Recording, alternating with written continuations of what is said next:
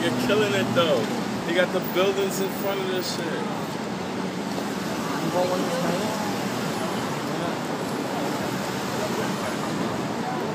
these? Killing it though. That shit look hot.